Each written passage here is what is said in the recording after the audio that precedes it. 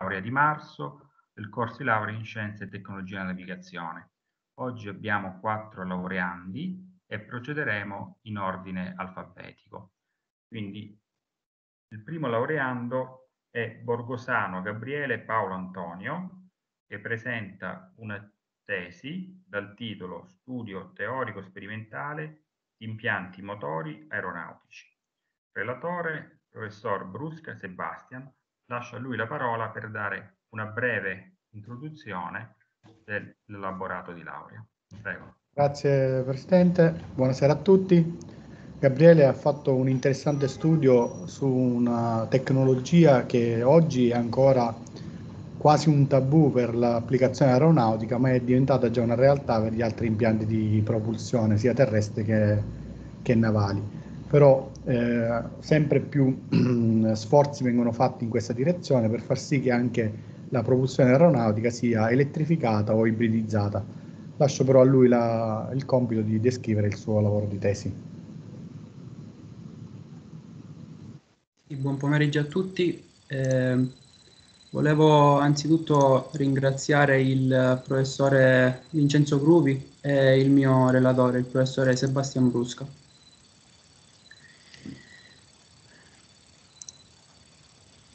Dunque, studio teorico sperimentale di impianti motori aeronautici è il titolo della mia tesi. Bene, eh, un problema assai critico, tutt'oggi oggetto di studi scientifici volti a contrastarlo, è il problema dell'inquinamento atmosferico, definito come qualsiasi alterazione eh, dell'aria atmosferica eh, dovuta dal rilascio sia naturale che antropico di sostanze inquinanti nell'aria. Tutte queste alterazioni hanno delle conseguenze assai negative sul, eh, sulla salute del nostro pianeta. Tra le principali fonti antropiche di inquinamento atmosferico, una fra le più dannose per la Terra è rappresentata dai motori degli aeromobili, i quali rilasciano nell'atmosfera ossidi di azoto, anidride carbonica e polveri sottili. Ovviamente le emissioni di un aeromobile dipenderanno eh, dalla lunghezza del, tra del tragitto compiuto, eh, dal peso del mezzo e eh, dalla tipologia di motori aeronautici supportati. Come possiamo leggere dalla seguente slide, eh, in media un aereo di linea genera sull'atmosfera gli stessi effetti inquinanti di circa 600 eh, automobili non catalizzate. Questo purtroppo è un gravissimo campanello d'allarme per la salute del nostro pianeta. Tra i principali eh, motori aeronautici più utilizzati nell'aviazione bisogna ricordare il motore turboventola, costituito da una turbina a gas aeronautica collegata ad una ventola, la quale ha diciamo, eh, la funzione di incrementare la spinta generata eh, attraverso l'accelerazione del, del flusso d'aria in ingresso. I motori turboventola, così come tutti i motori a combustione interna, inquinano l'aria. Dunque, al fine di combattere sempre di più il fenomeno dell'inquinamento atmosferico, la maggior parte degli stati eh, del mondo ha trovato un compromesso, progettando, costruendo e implementando sistemi di propulsione ibridi ed elettrici, come quello raffigurato nella seguente slide, per il quale una serie di turboalternatori o diesel alternatori forniscono energia elettrica a dei motori elettrici collegati a delle eliche navali. Questo permette sicuramente di eh, rilasciare nell'atmosfera un quantitativo molto minore di sostanze inquinanti rispetto ai sistemi puramente termici. Bisogna ricordare poi che il propulsore di questo impianto di propulsione prende il nome di Azipod. Per quanto riguarda l'aviazione, poi sono solo prototipi al giorno d'oggi eh, gli aeromobili elettrici uno fra i quali è il Lilium Jet, un piccolo VTOL, eh, ossia un mezzo capace di muoversi sia in senso verticale che orizzontale, eh, dotato di ben 36 turbine a funzionamento completamente elettrico. Degno di nota è anche un particolare eh, sistema di propulsione ibrido eh, sviluppato dal MIT, eh, molto simile tra l'altro al sistema Azipod visto in precedenza, eh, nel quale due turboalternatori forniscono mh, energia elettrica a dei motori elettrici collegati a delle, dalle ventole propulsive. Lo scopo della presente tesi è eh, quello di misurare la spinta eh, generata diciamo, da un motore turboventola eh, in scala completamente elettrico Per la misura eh, sono state scelte due metodologie, mediante masse calibrate la prima, mediante eh, una cella di carico in laboratorio la seconda. In questa slide è invece possibile eh, osservare eh, il setup di misura mediante le masse calibrate, il quale ha consentito appunto di eh, ricavare la spinta eh, generata dal motore attraverso la misura appunto della, della forza peso di, di, opportune masse che hanno controbilanciato la spinta stessa. Nel seguente video è poi possibile eh, osservare la procedura di misura sperimentale in laboratorio di spinta mediante la cella di carico, osservabile di seguito. Questo invece rappresenta il, uh, il sistema di alimentazione del motore. Bene, eh, i risultati sperimentali di spinta ottenuti in laboratorio rapportati alla velocità media di rotazione del motore hanno consentito di costruire il seguente grafico. In laboratorio poi è stato possibile anche eh, misurare la velocità eh, di rotazione del motore ehm, riportata nei seguenti grafici. è stata misurata poi anche la potenza elettrica di alimentazione che eh, come si può osservare presenta un andamento parabolico. La coppia eh, generata dal motore che ha un andamento pressoché lineare e il consumo specifico di energia Sempre in laboratorio poi, eh, diciamo, come si può osservare dal video, sono stati eh, studiati i vettori velocità istantanea eh, che, che, caratterizzano il modo di un flusso di vapore che attraversa il, il motore, flusso più facilmente osservabile dal seguente video. Dunque, lo, questo studio sperimentale è stato condotto seguendo una particolare tecnica di misurazione che prende il nome di tecnica PIV, in inglese Particle Image Velocimetry, appunto una tecnica eh, che consente di determinare modulo, direzione e verso dei vettori velocità istantanea che caratterizzano appunto il flusso di vapore. Bene, concludendo, eh, in questa mia tesi ho studiato i motori aeronautici elettrici, ho sviluppato un setup sperimentale di misura di spinta e di consumo di energia, ho studiato il campo di modo del flusso di vapore e più in generale, diciamo, il mio studio è la base di partenza per l'applicazione di questo tipo di motori turbofan elettrici per un impiego sia aeronautico che relativo all'aeromodellismo. Vi ringrazio per l'attenzione.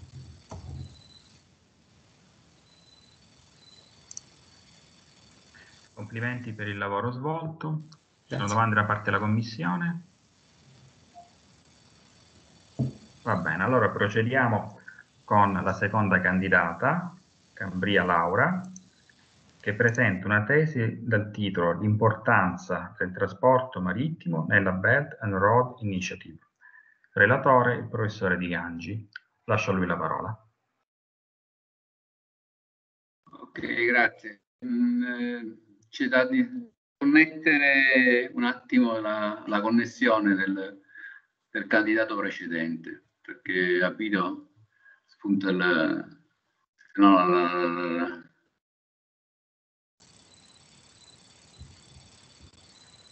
Ah, nel frattempo comincio. Poi... Miele, devi disattivare la condivisione dello schermo. Sì, scusate. Saverio, in caso intervieni tu se... Perfetto. No, sono un po' tesi ragazzi, per cui è, è normale. È comprensibile. È comprensibile.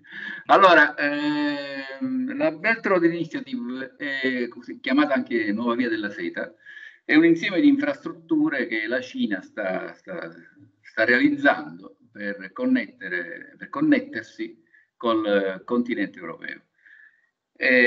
Questa, questa, queste infrastrutture sono sia terrestri che eh, marittime e la candidata si è, si è, si è, diciamo, ha, ha, approfondito tutto ciò che riguarda il trasporto marittimo, le infrastrutture marittime che sono coinvolte in questa BRI, cioè Belt Road Initiative.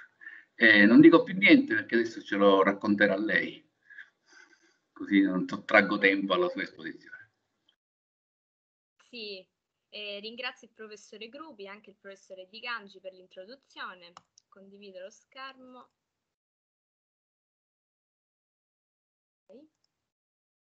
Ok, allora la tesi si basa appunto sull'analisi della strategia cinese sui mari nel contesto della Belt Road Initiative.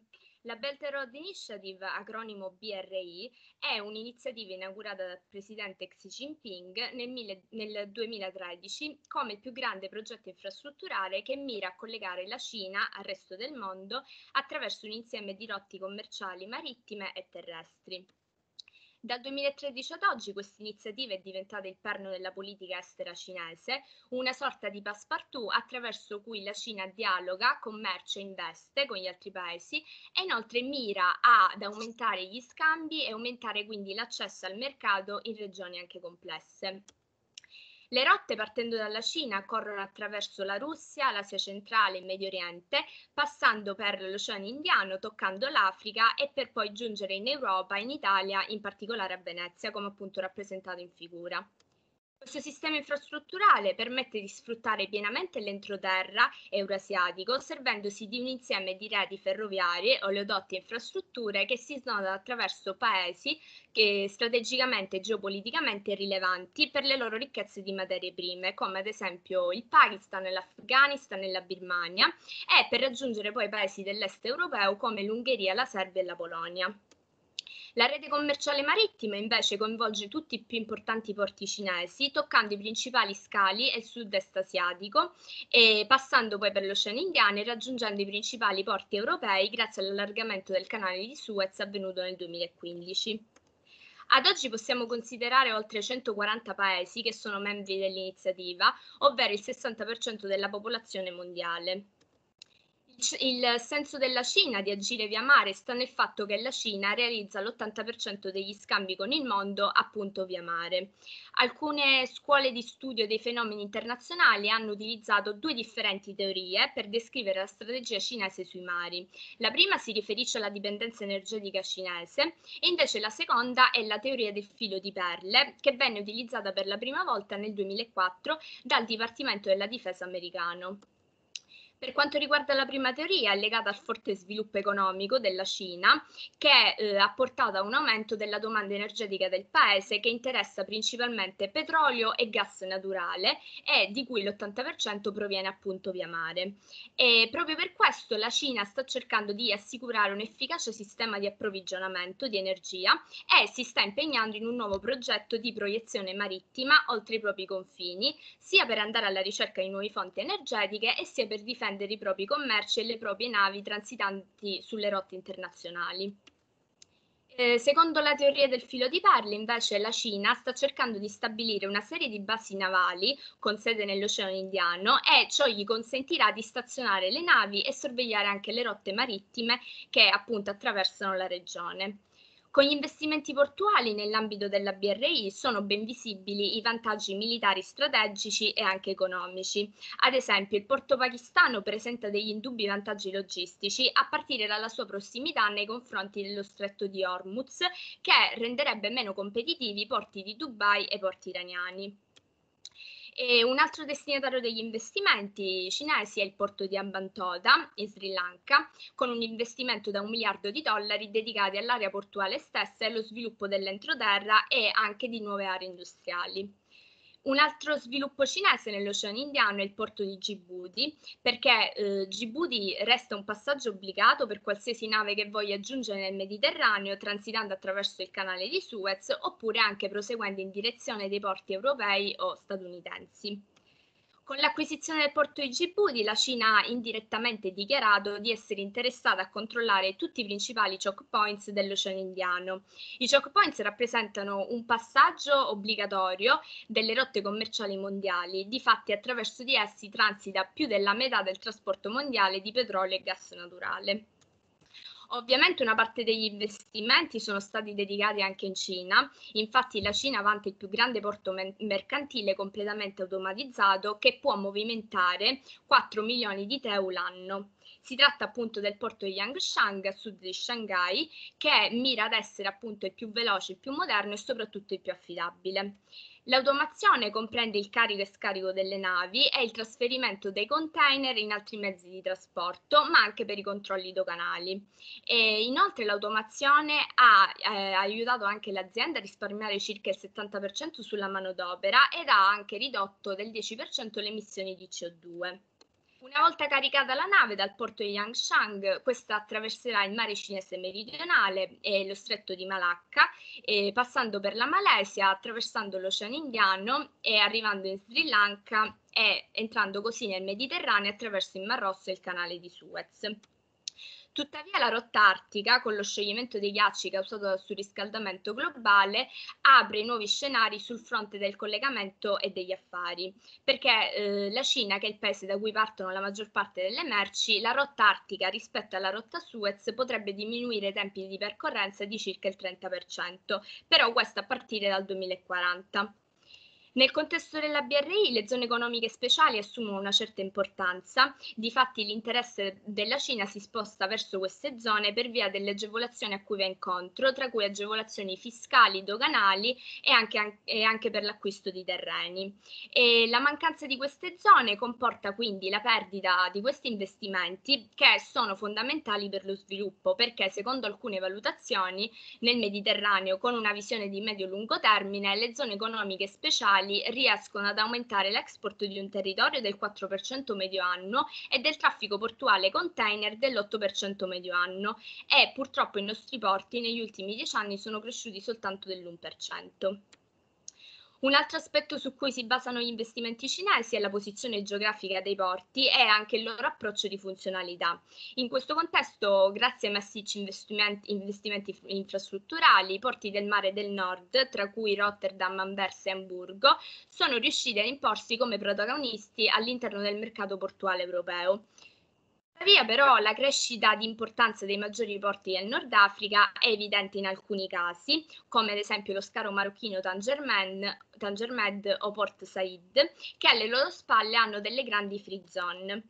Queste grandi free zone offrono una serie di elementi di contesto, tra cui sconti fiscali, agevolazioni sul costo del lavoro e anche agevolazioni doganali, che evidentemente i porti dal lato dell'Europa non sono in grado di offrire e quindi puntano a migliorare gli altri parametri come l'efficienza e la rapidità logistica.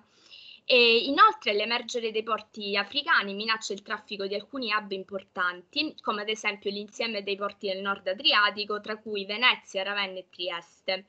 E, infatti la possibilità da parte delle navi di attraccare, nord, del, del, di attraccare nel nord Adriatico fornirebbe un elemento di competizione con il traffico dei porti del mare del nord, anche perché la Cina realizza circa il 70% degli scambi con l'Italia via mare e quindi potrebbe essere un'occasione per promuovere il flusso inverso, incrementando così l'esportazione dall'Italia verso la Cina.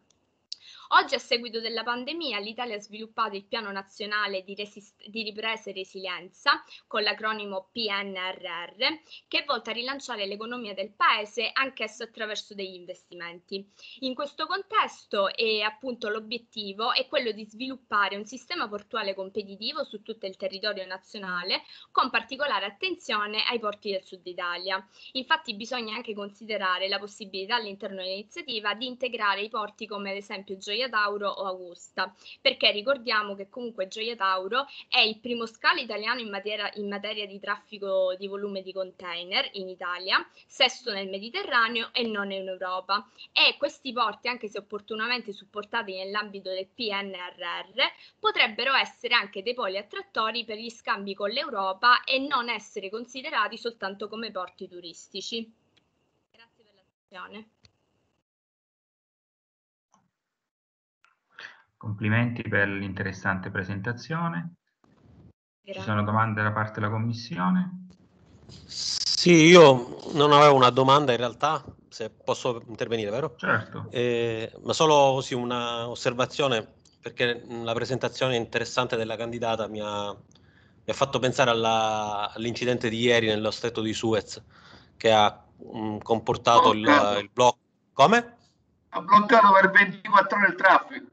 Eh, che ha bloccato per qualche ora, per circa 24 ore il traffico e, e leggevo dalla stampa di 400 milioni di dollari di danno orario stimato. Quindi, insomma, queste, queste tematiche sono assolutamente di grandissimo interesse. Certo. Sì. Laura, Laura, sconnetti un attimo il, il, il coso. Sì, fatto. Ecco. No, c'era anche una, Filippo, c'è anche un'altra cosa da dire, che lei l'ha accennato giusto brevemente, perché la cosa è un po' polemica, perché nella versione vecchia del PNR c'era messo che i porti del sud Italia erano dei porti a vocazione turistica, cioè Gioia d'Auro lo consideriamo quindi tutte le risorse messe nei porti di, di praticamente di Genova e Trieste. Mentre eh, noi abbiamo Santa Panagia, abbiamo Augusta che è un porto impressionante, se, se, se, se riqualificato. Ecco. Perfetto. Allora, se non ci sono altre osservazioni, passerei al terzo candidato, Ciraulo Davide, che ha svolto una tesi al titolo Disegno 3D e sviluppo fasciame di una nave partendo dai piani di costruzione. Relatore il professor Eugenio Guglielmino, che oggi non ha potuto partecipare a questa sessione, quindi introduce la tesi il professor Cucinotta. Lascio a lui la parola. Sì, il candidato Ciraulo oggi presenta il suo lavoro di tesi, è stato un lavoro eh, che lo ha visto impegnato nella, nel disegno dei disegni classici, quelli da cui si parte nella costruzione di una nave, ovvero il piano di costruzione e lo sviluppo fasciame. Partendo da una nave trovata in, eh, in disponibilità in letteratura, ha ricostruito al computer, ha fatto i passaggi quelli da studio tecnico per, eh, per disegnare la nave stessa. Lascio a, al candidato Ciraulo di mostrare il suo lavoro. Buonasera a tutta la commissione, ringrazio il professore Grughi e il professore Cucinotta per l'introduzione. Eh, condivido. Okay. Allora, eh, lo scopo della mia tesi di laurea è stato quello di illustrare tramite dei passaggi ben definiti la modellazione... Eh, ancora non si vede. Ciraulo, scusami, eh, non si vede. Non si vede? No, Devi condividere lo schermo. Ok. Ok, ora si vede. Ok, perfetto. Come, come, dicevo, lo scopo della mia tesi di laurea è stato quello di modellare appunto uno scafo tramite un software eh, di modellazione tridimensionale, eh, partendo da un piano di costruzione. Ovviamente il piano di costruzione di partenza deve essere colle- correlato di dimensioni principali, quale altezza, larghezza, eh, altezza di costruzione, larghezza e lunghezza della nave e anche un'immersione di progetto. Poi sono stati eseguiti i calcoli idrostatici e infine è stato rappresentato lo sviluppo fasciame tramite AutoCAD. Riguardo Delphship, Delphship è un programma di modellazione digitale che ci permette la eh, rappresentazione di scafi e particolari navali e eh, inoltre è capace anche di comprendere eventuali criticità presenti nello scafo. La rappresentazione del modello è partita suddividendo il piano di costruzione di partenza in piano longitudinale e piano trasversale, successivamente è stata centrata l'immagine rispetto uh, ai punti di riferimento del sistema cartesiano, assegnato una scala di disegno e poi sono passato alla creazione dei punti di controllo delle ordinate.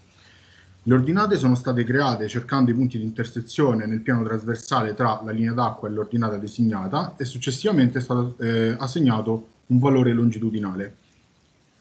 Per le ordinate di poppa, quindi quelle eh, appunto visibili eh, nel piano trasversale a sinistra del, a sinistra del, punto di, di, del sistema di riferimento del, di Delphship è stato necessario intervenire a livello numerico in quanto venivano generati eh, sulla sinistra con un valore negativo. Una volta terminato eh, tutta, tutte, mh, tutta, la rappresentazione eh, delle ordinate, eh, si può notare eh, un reticolo dei punti di controllo.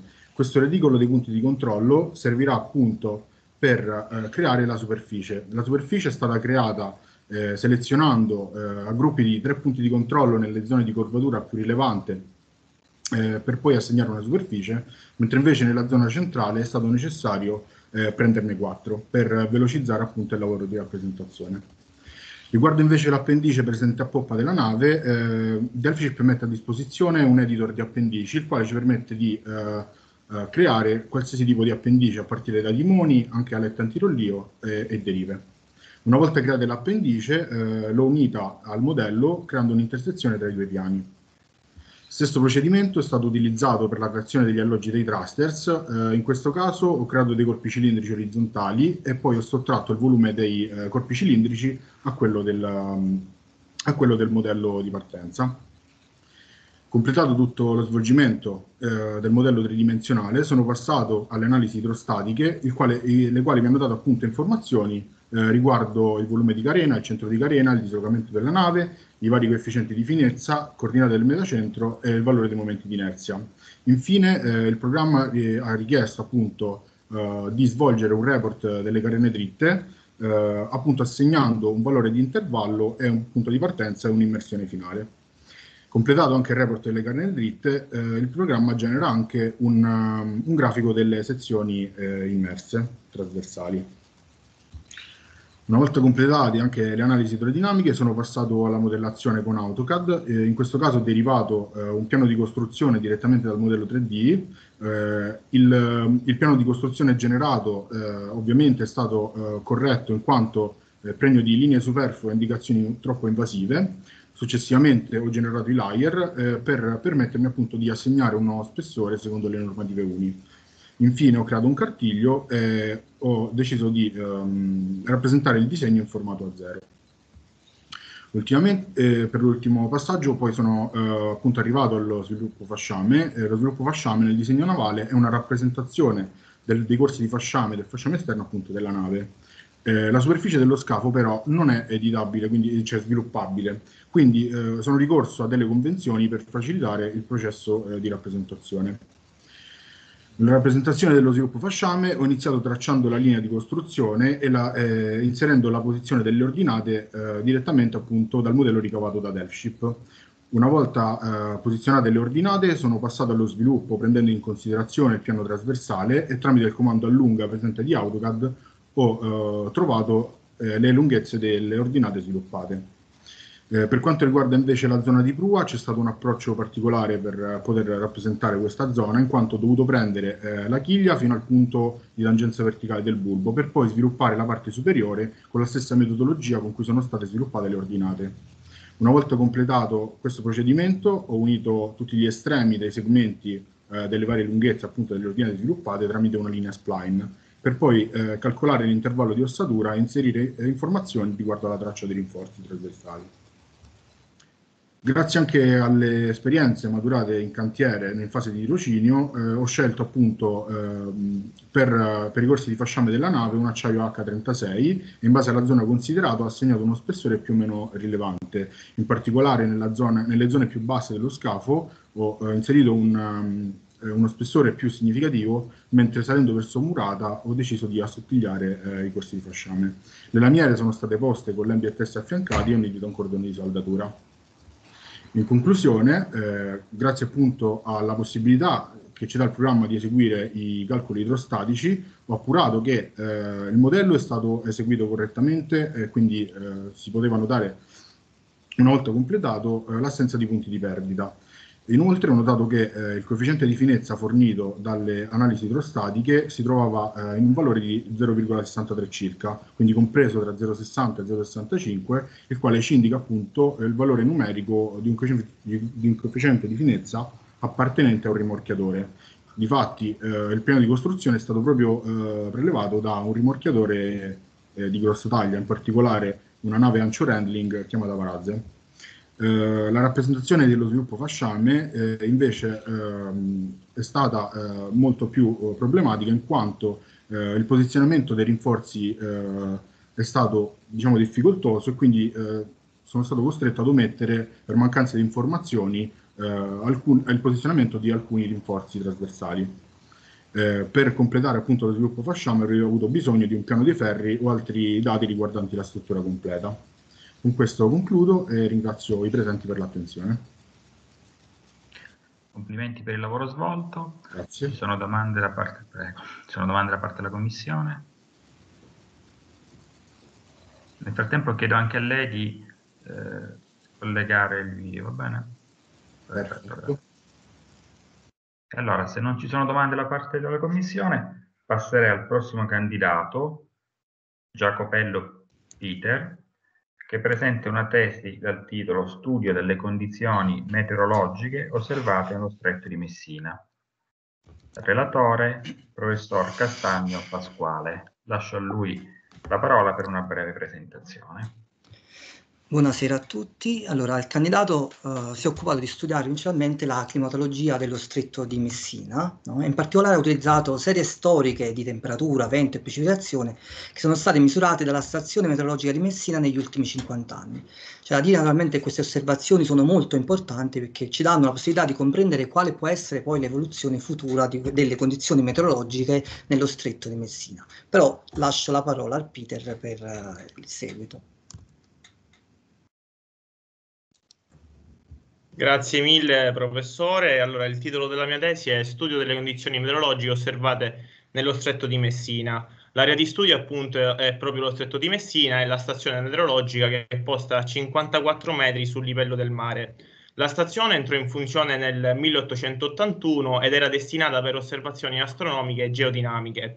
Ogni ora appunto viene messo un bollettino che descrive i dati acquisiti negli ultimi 10 minuti, de, 10 minuti del tempo presente e dei fenomeni osservati nelle ore precedenti, ovvero il tempo passato. Gli strumenti meteorologici a disposizione della stazione meteorologica di Messina sono eh, molteplici, alcuni ubicati all'interno della capannina meteorologica che è posta all'esterno. Eh, ci sono appunto termoigrografo, c'è un termoigrografo in grado di misurare contemporaneamente temperatura e umidità, abbiamo un termometro di massima e uno di minima giornalieri e un psicometro che è in grado di misurare l'umidità relativa. Andando avanti eh, troviamo un complesso eh, pluviometrico in grado di rilevare la precipitazione in termini di millimetri e ci serviamo appunto della cabina pluviometrica del trasmettitore che appunto trasmetterà in, eh, segnali elettronici al pluviografo che andrà a registrare su una bombina eh, diagrammata. Successivamente troviamo la pressione atmosferica che viene resa nota attraverso il barometro eh, che dà una misura istantanea della pressione atmosferica colonnare e il barografo che non fa altro che registrare questa eh, pressione atmosferica su un eh, diagramma appunto. Eh, successivamente Abbiamo eh, la misurazione dei venti che la si fa attraverso un anemometro che contiene una banderuola e delle coppette di Robinson che eh, sono opportunamente collegate all'anemografo che è in grado di registrare su detta velocità media su 10 minuti il valore di direzione del vento espresso in gradi e le raffiche maggiore di 10 nodi. Per quanto riguarda invece i fenomeni che ehm, localmente possiamo vedere sullo stretto di Messina, abbiamo la lupa che eh, si verifica nel periodo primaverile e non è nient'altro che nebbia d'avvezione che si va a formare quando una massa d'aria molto calda e carica eh, di umidità scorre sulla superficie del mare molto fredda e non fa altro che il vapore acqueo condensarsi e formare appunto questa nebbia d'avvezione che si potrebbe chiamare, che si chiama anche eh, nebbia di mare può salire fino, eh, si eleva fino a 300 metri e fino ad, un, eh, ad una lunghezza di 8 km, mm, ricoprendo quasi tutto eh, lo stretto. Successivamente la conformazione fisica della Sicilia orientale ha un orientamento della costa che si eh, protrae dal quadrante sud-ovest verso nord-est in maniera obliqua possiamo trovare appunto eventi provenienti dal settore eh, sud e sud-est, rispettivamente Mezzogiorno e Scirocco, che quando andranno a rimbalzare sulla costa obliqua eh, verranno eh, resi falsati appunto dalla, dall'obliquità, appunto dalla, dalla costa, eh, rilevando un vento eh, che non sarà più proveniente dal settore sud-sud-est, ma eh, da, da sud-ovest, quindi libeccio. Infatti, grazie ai grafici dei venti medi del trentennio eh, trovati appunto nell'Atlante climatico 1971-2000, vediamo che il settore sud-est non viene praticamente visualizzato in alcun grafico. Tuttavia possiamo trovare anche altri venti provenienti da altri settori, quale nord- eh, nord-est ed est, rispettivamente Grecale e Levante, ma come ben sappiamo lo stretto di Messina è protetto la fascia, in questo caso est, quindi a destra, dalla catena montuosa calabrese, soprattutto dalla, dall'Aspromonte, quindi sarebbe impensabile avere questi venti provenienti da questi settori. Tuttavia però vengono eh, visualizzati eh, climatico, nei grafici dell'Atlante climatico eh, come settore di nord-est, eh, soprattutto nelle ore più calde della giornata come le 12 e le 18, tra l'altro nel periodo estivo. Quindi ehm, si tratta non più di gradiente barico, ovvero eh, diversa pressione terrestre, ma di eventi innescati dalla brezza marina. Successivamente ho analizzato le temperature del cinquantennio dividendo il trentennio con l'Atlante climatico del 1971 nell'anno 2000 e del ventennio 2001-2020. Troviamo le temperature per quanto riguarda il trentennio che oscillano dai 12 gradi e 2 ai 27 gradi e 3, a differenza eh, del ventennio che oscillano da 9 gradi e 6 a 31 gradi e 6 di agosto. Quindi eh, si deduce che il mese più caldo per entrambi ehm, le serie storiche è agosto e il mese più freddo è febbraio. Entrando nello specifico troviamo una temperatura massima per quanto riguarda il trentennio registrata a luglio ed è di 43 gradi e 6, ehm, diversamente nel ventennio sta registrando una temperatura più bassa eh, di 40 gradi e 6, anche questa nel periodo di luglio. Eh, a differenza della temperatura minima registrata nel trentennio eh, nel marzo di un grado e 8, eh, viceversa nel ventennio di un grado e 2 registrato a febbraio. Eh, confrontando le due, le due, serie storiche delle temperature massime medie, possiamo notare come il ventennio, eh, nel ventennio c'è stato appunto un aumento di temperatura. Ehm, questo appunto aumento si rende noto anche soprattutto nel periodo primaverile, nel mese di aprile con eh, circa un grado 6 di aumento. La stessa cosa ho fatto con le precipitazioni medie sia di tutto il cinquantennio dividendo trentennio e ventennio, ehm, avendo così una temperatura massima, una, una precipitazione massima del trentennio eh, nel periodo di novembre eh, con 119 mm. Diversamente nel periodo eh, del ventennio abbiamo una precipitazione di 129 eh, mm nel eh, mese di dicembre. Eh, confrontando le due serie storiche 1971-2000 e 2001-2020, possiamo dire che i, pre- i millimetri di precipitazioni cumulati eh, nell'ultimo ventennio sono stati ehm, sono aumentati rispetto alla serie storica eh, precedente del trentennio. Soprattutto eh, hanno superato di tre volte il valore eh, di, ehm, di, giugno, del, del, mese di giugno, arrivando quindi a 40 mm e mezzo. Eh, in conclusione possiamo dire che grazie al rilevamento continuo dei dati che ci ha consentito di effettuare il confronto tra eh, le due serie storiche, ehm, possiamo inoltre capire se ci, sono stati de, mh, se ci sono stati dei cambiamenti climatici in atto o comunque se ci saranno. Ringrazio in particolare il professore eh, Pasquale Castagno, nonché il mio relatore, e il luogotenente eh, dell'aeronautica militare Renato Cancelliere per ehm, tutti i dati forniti. Grazie mille. Grazie per l'interessante presentazione. Ci sono domande da parte della Commissione? Se non ci sono domande, passerei all'ultimo candidato, Napoli Salvatore, che presenta una, una tesi dal titolo Cicloni tropicali, extratropicali e medicane. Relatore, sempre il professore Castagno Pasquale. Lascio a lui la parola per una breve introduzione. Allora, in questo caso invece il candidato si è occupato di studiare i principali sistemi di bassa pressione che sono fondamentali per la ridistribuzione del calore sul pianeta Terra e quindi servono, sono molto utili per regolare il clima della Terra stessa. E però anche possono anche causare gravi danni per le società umane. Uh, lascio la parola a Salvatore per darci idea di sono, qual è l'importanza di questi fenomeni, soprattutto visto che per il futuro è stato previsto che cioè, ci sia un aumento dell'intensità di questi fenomeni tra il 2 e l'11% entro il 2100. Quindi lascio la parola a Salvatore. Grazie mille professore per la presentazione. Eh, come detto, lo scopo principale eh, di questa tesi eh, è quello di ehm, illustrare e rendere noti eh, molti aspetti fondamentali che caratterizzano la formazione e eh, le attività di cicloni tropicali, extratropicali e Medicaid. Però in primo luogo bisogna chiarire in maniera sintetica eh, che cos'è eh, un ciclone, visto che molto spesso ne sentiamo parlare.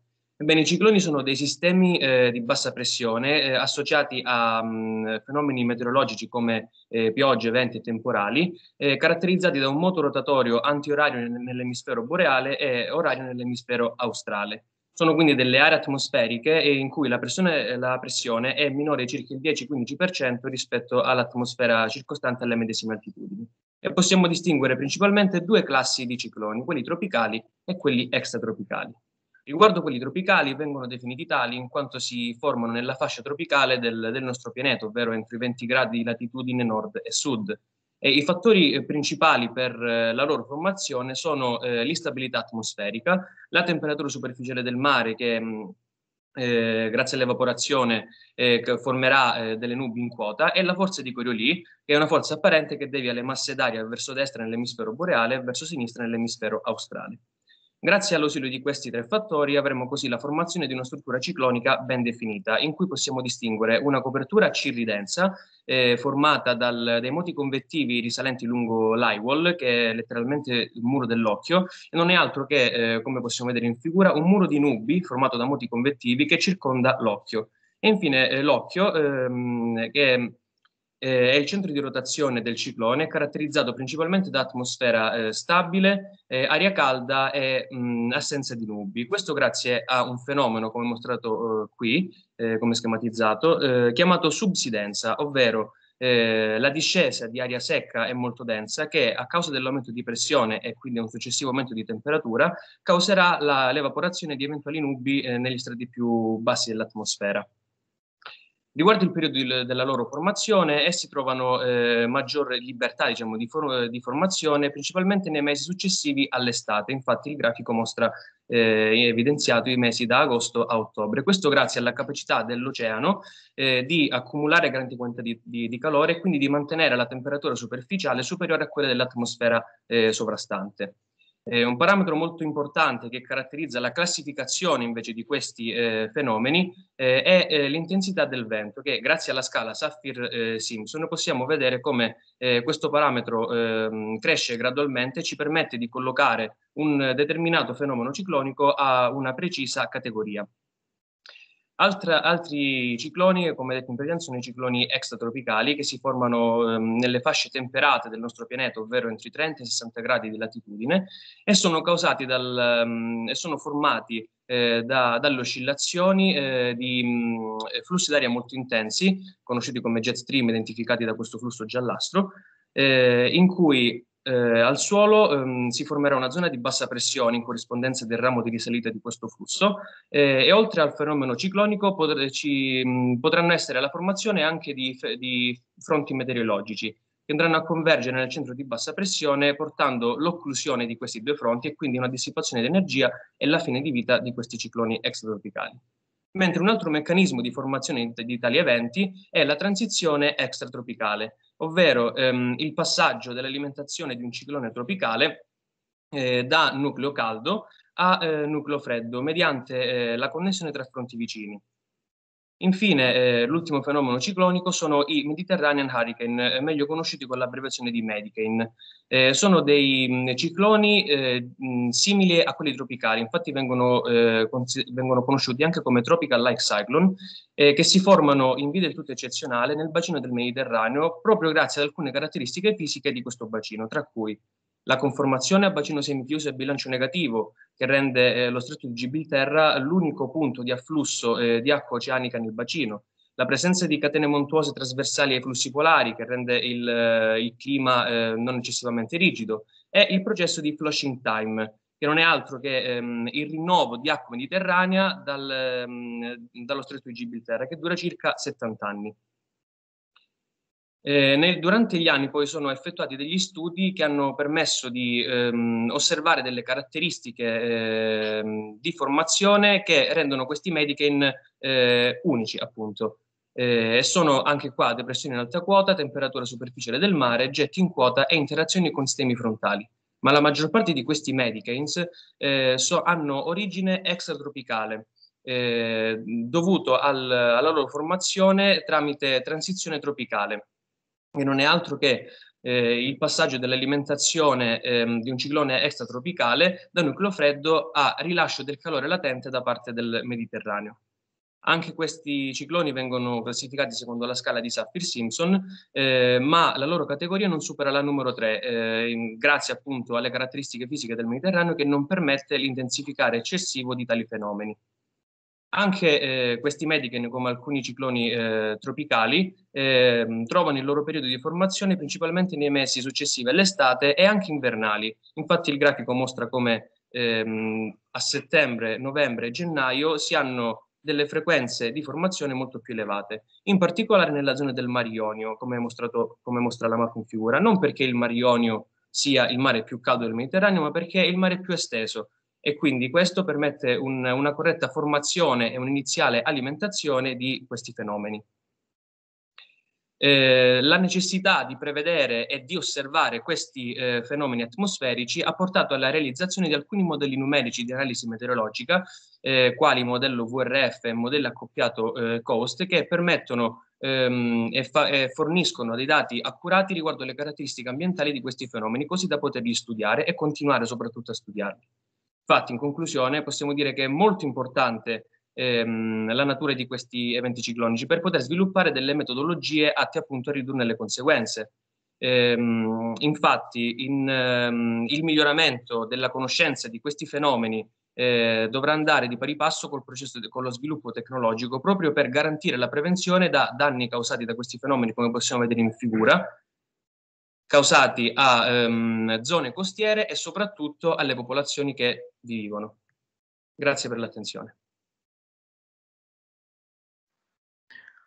Complimenti per l'interessante presentazione. Ci sono domande da parte della Commissione?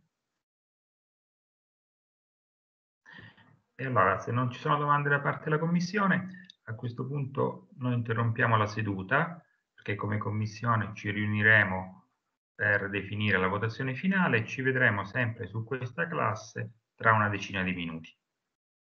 Va bene?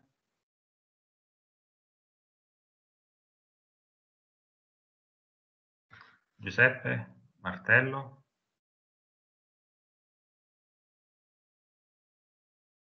Ok, partecipiamo all'altra. Abbandoniamo qui e partecipiamo all'altra, giusto? Non so se conviene, se conviene abbandonare. L'altra volta non abbiamo abbandonato, abbiamo, non abbiamo siamo andati direttamente Ci potete sull'altra. lasciare in attesa la chiamata attesa. qui, la potete lasciare in attesa. In ogni caso, anche se doveste abbandonare per sbaglio, vi richiamerà poi Giuseppe di qua nuovamente, in ogni caso. Vabbè.